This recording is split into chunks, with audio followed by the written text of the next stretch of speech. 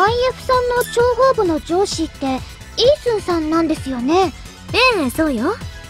競争をやりながら諜報部の管理もしてるの。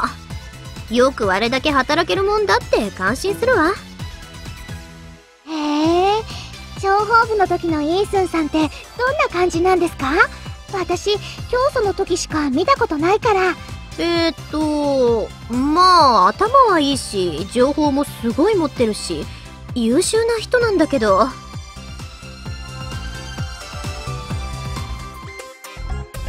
イストワール様次の犯罪発生箇所の予測ポイントは？今、割り出しています。割り出していますが、あと3日はかかります。それじゃ手遅れですよあの、この容疑者の情報はご存知ですか？あ、見覚えがあります。ただ、思い出すのに3時間はかかりますよ。なんとか3分で思い出してください。すみません。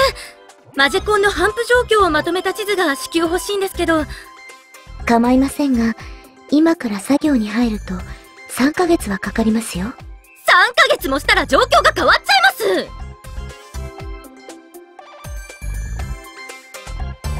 何をやらせても時間がかかるのが欠点なのよね。あはは イースンさんらしいといえばらしいというか